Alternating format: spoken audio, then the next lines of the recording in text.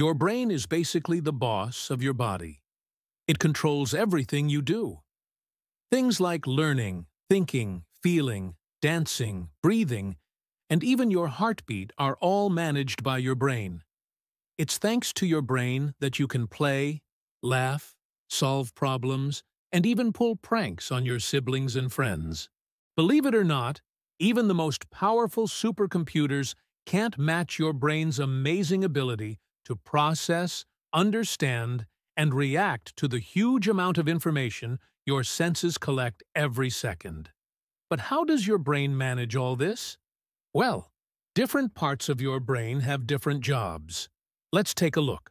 The largest part of your brain is called the cerebrum, which makes up about 85% of the entire brain. This is the thinking part.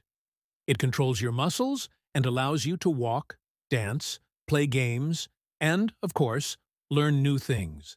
Just like you do here on the Echo Hub show. Cool, right? Next, we have the cerebellum, a smaller but very important part. It helps you stay balanced and coordinates your movements. Without your cerebellum, you'd be tripping and tumbling all the time. Now, let ease meet the brainstem, a small but mighty structure that connects your brain to your spinal cord. It controls all the automatic functions in your body, like breathing, heart rate, and digestion, without you even thinking about it. Then there's the amygdala, a tiny almond-shaped part of your brain responsible for emotions, survival instincts, and storing memories of events. Wow, such a small part, but with such big responsibilities. Trivia time. Did you know your brain generates about 12 to 25 watts of electricity? That's enough to power a small LED light. Also, scientists have discovered that after you exercise, your body releases a chemical that helps your brain learn better.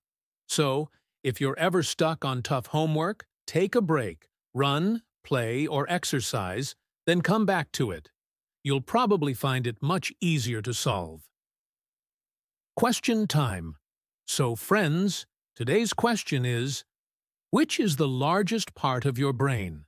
Write your answer in the comments below to join the EchoHub family and show just how strong and smart your brain is. Until next time, it's me, zooming out. Hey kids, did you enjoy the video?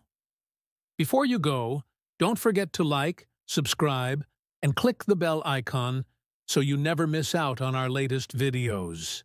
See you next time.